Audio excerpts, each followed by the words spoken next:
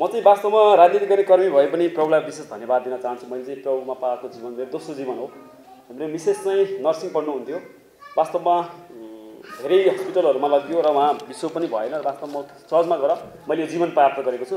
वास्तवमा संसारका सबै कुराहरू गुमाएँ होला मेरो श्रीमतीले नर्सिङ गुमाएँ होला मैले पनि कति पैसा कमाउने घरहरू गुमाएँ होला गाडीहरू गुमाएँ होला तपनि प्रभुले आज मलाई ठाउँमा ल्याउनु छ। विशेष त म प्रभुलाई धन्यवाद दिन चाहन्छु। र म मिडिया अनलाइनमा होला। सर्वप्रथम मैले के रोज्छ भने म यति राजनीति गरेँ यति आउँदा के रोज्छ टिकाराम भन्यो भने म परमेश्वर रोज्छु पहिला। किनभने म सांसद मन्त्री मलाई केही चाहिँदैन किन परमेश्वरले आज मलाई ठाउँमा ल्याउनु भएको छ। त्यस कारण प्रभु कति महान हुनुहुन्छ कति भला हुनुहुन्छ। त्यस कारण हामी क्रिस्चियनहरू ठिक छ यो कार्यक्रमका आयोजक संस्था कन्सेप्ट इन्टरनेसनल नेपाल जुन सहकारी मिडिया फिलोसफी गर्नुभएको छ वास्तवमा यो कार्यक्रम एकदमै आफैमा एकदम सकारात्मक छ। तपाईँ हामी बिचमा परिचय पनि भयो। हामी विभिन्न पेसा व्यवसायमा छौँ। विभिन्न मण्डलीमा आबद्ध छौँ सङ्गति जान्छौँ चर्चमा जान्छौँ प्रभुलाई परमेश्वरको वचन सुन्छौँ। तर पनि हामीले बाइबलमा मात्र सीमित छैनौँ है। हामी हामी क्रिस्चियनहरू म पनि चर्च जान्छु हामी सबै चर्चमा जान्छौँ। तर पनि क्रिस्चियनहरू पनि क्रिएटिभ छन् है। उनीहरू पनि आफ्नो पेसा व्यवसायमा आबद्ध छन्। विभिन्न काम धन्दाहरूमा आबद्ध हुनुहुन्छ। त्यस कारणले गर्दाखेरि यो बिच तपाईँ हाम्रो बिचमा एक खाले परिचय गर्ने कार्यक्रम राख्नुभएको निम्ति म यो कन्सेप्ट इन्टरनेसनलको सबै कुराहरू बुझेँ। उहाँहरू अमेरिका भएर युरोपमा भएर पनि आफ्नो देशलाई आफ्नो क्रिस्चियन समुदायप्रति जुन गर्नुभएको छ विशेष गरी यो संस्थाले जुन कन्सेप्ट ल्याएको छ आफैमा पनि एकदम राम्रो कुरा हो। जुन कुरा चाहिँ क्रिस्चियन समुदायको बिचमा चाहिँ आज कसैले बोल्दैन म आफैलाई पनि कति ऊ लाग्छ कतिले परिचय दिनै चाहँदैनन्। म क्रिस्चियन हो म चाहिँ जहाँ पनि जयमेसी क्रिस्चियन हो म क्रिस्चियन हो भन्छु। यदि यदि गोली ठोक्नु भने मलाई ठोक तर म सबभन्दा अगाडि यो फ्रन्ट लाइनमा हुन्छ नि जस जसरी मिडिया कर्मीहरू जानुहुन्छ म जान्छु। किनभने आज संविधानले कुनै पनि धर्मप्रति चाहिँ के भन्नुहुन्छ भेदविवाद नगर भेदभाव नगर सबैलाई सम्मान गर तिमी नागरिक हौ भनेर आज यो देशमा चाहिँ हामी दोस्रो जग्गाको नागरिक हुनु परेको छ विडम्बना। म आफैलाई पनि कति ठाउँमा चाहिँ क्रिस्चियन भन्दाखेरि कस्तो कस्तो अप्ठ्यारो महसुस गर्नु तर पनि म भन्दिनँ। मेरो आफ्नो परिचय कहिले लुकाउँदैन। किनभने परमेश्वरले मलाई ठाउँमा ल्याउनुभएको छ। जुन कुरा आसन निर्वाचनमा मिडिया एन्ड ग्रेस अ, आसन निर्वाचनमा क्रिस्चियन समुदायको भूमिका भन्ने कुरा राख्नुभएको छ।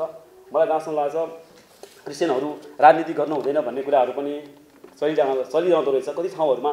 वास्तवमा चाहिँ मैले कति मलाई के लाग्छ भने मेरो अलिक थोरै पाँच सात मिनटमा जान सक्छ। मेरो नि थोरै अनुभव सुनाउँछु। क्रिस्चियन महासङ्घलाई पनि मेरो क्वेसन छ।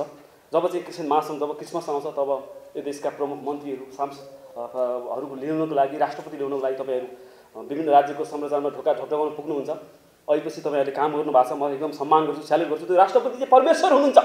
परमेश्वर हाम्रो राष्ट्रपति परमेश्वर हुनुहुन्छ। परमेश्वरलाई खोज्नुको लागि क्रिस्चियन समुदायको लागि जहाँ जाजरपुरको चर्चमा तपाईँहरू पुग्नु पऱ्यो त्यहाँका समुदायको बिचमा कमसेकम त्यहाँ चाहिँ आज त्यहाँ सङ्गति गर्ने अवस्थाहरू के छ? त्यो क्रिस्चियन महासङ्घको ध्यान त्यहाँ पनि जाओस्।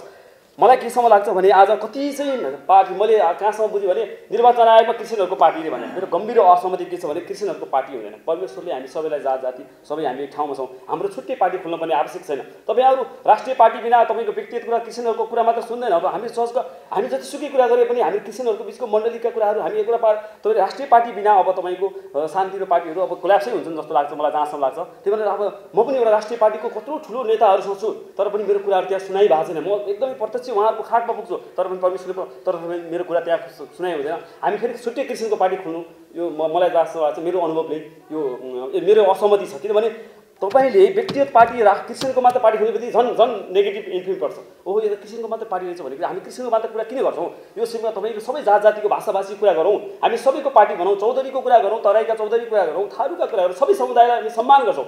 किनभने क्रिस्चियन त सबै समुदायका छन् नि गरिब धनी सबै मान्छेहरू छन् नि रोगी पनि छन् निरोगी पनि छन् त्यस कारण सबैले जीवन पाएका छन्। पहिलो कुरो चाहिँ हाम्रो आवाज त्यहाँ उठाउनु पऱ्यो त्यसपछि त्यो पार्टी चाहिँ त्यहाँ हुनसक्छ। तपाईँहरू पार्टी त राष्ट्रिय पार्टी बिना त अब सम्भवै छैन नेपालमा किनभने पार्टीले त अब जहाँसम्म लाग्छ राष्ट्र दुईवटा तिनवटा भन्दा पार्टी नेपालमा रहने छैन जतिसुकै गरे पनि त्यो कोही मान्छेलाई सांसद बन्नको लागि कसैलाई मिडियामा आउनको लागि र कसैलाई विदेश भ्रमणको जानको लागि कसैले पार्टी खोल्छ भने त्यो गम्भीर अब नेपालमा किनभने नेपालकी जनताको निम्ति नेपाल क्रिस्चियन समुदायको निम्ति बोल्नु पऱ्यो हामी सबैले। त्यस कारणले गर्दाखेरि संविधानमा लेखतिर लेखेको छ हामी एकतिर आवाज गर्न चाहन्छौँ। त्यस कारण जसको नीति त्यसको नेतृत्व जब चाहिँ चुनाव आउँछ ओहो हामी त किन राजनीतिक दलको पार्टी लाग्ने किनभने भन्छन् त्यो गलत कुरा हो। किनभने तपाईँको जहाँ नीति जहाँ तपाईँको नेतृत्व छ त्यहाँ तपाईँको कुराहरू हुन्छ। गाउँपालिका अध्यक्षलाई बिचरा फोन गर्नु पऱ्यो भन्छन्। हाम्रो त्यहीँ गाउँ क्रिस्चियन समुदायको मान्छे गाउँपालिका अध्यक्ष भएको के हुन्थ्यो आज? हाम्रो त्यहाँ कति कुराहरू त्यहाँ समेट्ने हो त? आज सहज मान्थे होला। त्यो टहराहरू त चलमा परिणत हुन्थ्यो होला नि। त्यस कारणले गर्दाखेरि तपाईँहरू सम्पूर्णलाई म के अनुरोध गर्न चाहन्छु भने म देशवासीको नाममा नेपाल नेपाली क्रिस्चियनहरू समुदायको बिचमा के अनुरोध गर्न चाहन्छु भने आउनुहोस् तपाईँहरू पनि राजनीतिमा आबद्ध हुनुहोस् होला। कोहीलाई कम्युनिस्ट मन पर्ला कोहीलाई काङ्ग्रेस मन पर्ला कसलाई एमाले मन पर्ला तपाईँको विचार हो विचार विचार कसरी गर्नु छ त्यस कारणले गर्दाखेरि जब परमेश्वरले हामीलाई असल विचार दिनुभएको छ असल कुराहरू छान्ने कुराहरू तपाईँले आफ्नो मन लाग्दै तपाईँ स्वतन्त्र हुनुहुन्छ। त्यस कारणले गर्दाखेरि म के भन्न चाहन्छु भने आउनुहोस् तपाईँ यो देशको सांसद यो देशको वडा सदस्य वडा अध्यक्ष अब परिवर्तन तपाईँ हामीबाट छ। अब तपाईँको अब हामी क्रिस्चियनहरू चाहिँ चुनाव हुन हुँदैन भने हामी गलत नगरौँ न। गलत नगरेपछि त हाम्रो कुरा त त्यहाँ सब हुन्छ नि त। क्रिस्चियन तपाईँ हामी आफ्नै व्यक्तिगत जीवन पनि ओहो आज क्रिस्चियनहरू चाहिँ ओहो झाँड खाँदैन भने आज। पहिलो कुरो भोट त्यहीँ पनि आयो। क्रिस्चियनहरू चाहिँ असलमा सङ्गत गरेर सहयोगी छन् भनेपछि तपाईँ हामीले चुनाव उठ्ने भयो भने सबभन्दा धेरै भोट ल्याएर चुनाव जित्नेछौँ। किनभने हाम्रो व्यक्तिगत जीवन सुसमाचारको जीवन हो। आज समाजमा असल आचरण हुने कुराहरू पनि परमेश्वरको परमेश्वरले हामीलाई सिकाउनु भएको छ। त्यस कारण आज असल आचरण तपाईँ हाम्रो व्यक्तिगत जीवनको त्यो त्यो नै क्रिस्चियन समुदायको लागि हो। त्यस कारण विभिन्न पेसामा आबद्ध हुने सर्वप्रथम म क्रिस्चियनहरूलाई के एकबद्ध हुनु पऱ्यो हुनु पऱ्यो भन्नु पऱ्यो क्या? तपाईँ हामी एक हुनु पऱ्यो युनाइट हुनु पऱ्यो क्रिस्चियनहरू एक हुनु पऱ्यो महासङ्घ फुटिया छ फेरि जुटिया छ। के को लागि फुट्यो? के को लागि जुट्यो? अनि सरकारले हामीलाई कहाँ एट्याक गर्छ? त्यहीँ एट्याक गर्छ। ओहो क्रिस्चियनहरू त फुट्छ अर्कोले आएर एउटा कुरा त्यस कारण हामी फुट्नु भएन। पहिलो कुरा हामी तपाईँ हामी क्रिस्चियन समुदायका हाम्रा साझा हामी सबै दिदी दाई दाजुभाइ नै एक हुनु पऱ्यो। त्यस कारण गर्दा क्रिस्चियन धर्मले मात्र पार्टी हुन्छ भन्नु गलत हो। धार्मिकताले देश उचाल्छ। त्यस कारणले गर्दाखेरि सबैजना वास्तवमा क्रिस्चियन समुदायको हकितको कुरा गर्ने मिडियाले मात्र अब सक्दैन है। अब मिडियाले मात्र कति लेख्ने हुन्छ। उहाँलाई उहाँले मात्र लेख्न सक्नुहुँदैन। त्यस कारणले गर्दा हामी सबैले के गर्नु पऱ्यो भने हामी सबै चर्चमा प्रत्येक चर्च मण्डली परिवारले के गर्नु पऱ्यो भने हामी सबै एउटा राजनीति पार्टीमा आस्था राख्नु पऱ्यो र उहाँ पत्रकार साथीहरूलाई पनि हामीले उहाँलाई पनि अब जति एकदम हौसला हुने कामहरू गर्नु पऱ्यो उहाँले लेखेको कुराहरू हामी प्रत्येकले फेसबुकमा लेख्नु पऱ्यो आजको यो कार्यक्रमहरू सबैका फेसबुकमा आफन्तहरूलाई सेयर गरेर लाउनु पऱ्यो ओहो क्रिस्चियनहरू अब चाहिँ अगाडि बढेछन् है।